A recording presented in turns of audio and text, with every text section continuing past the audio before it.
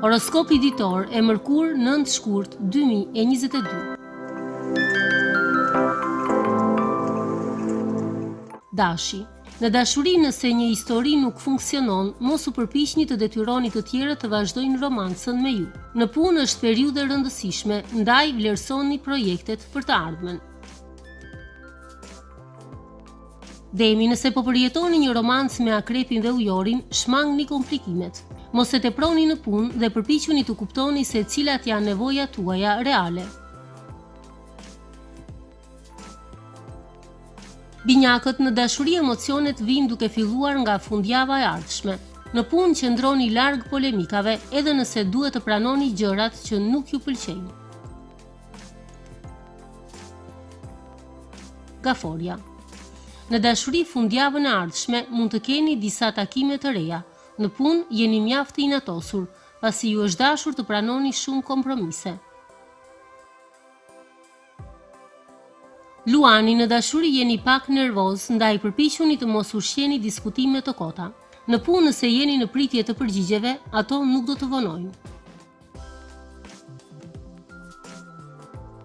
Virgjëresha, nëse jeni beqarë në dashuri, do të keni mundësi të bëni takime të reja të këndshme.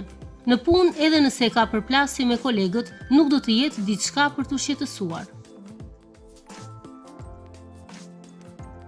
Peshorja, Sot jeni të shpërqendruar në lidhje me romancën me partnerin. Ndoshta keni prioritete të tjera. Në punë mund të ketë lajme të reja, por kushtojini vëmendje disa shqetësimeve të vogla.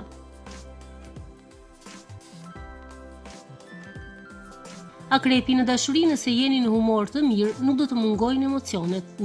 Në punë, aspekti i mirë i Saturnit ndihmon projektet e reja.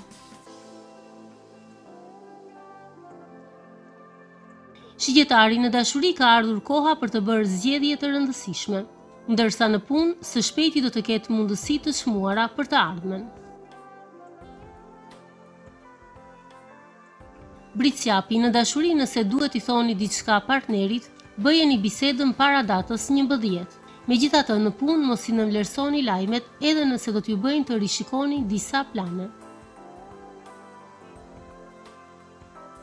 Ujori në dashuri duhet të prisni edhe pak kohë për të përjetuar emocione ndryshe. Nga ana tjetër në punë do të ketë të reja të cilave duhet t'i jepni rëndësi.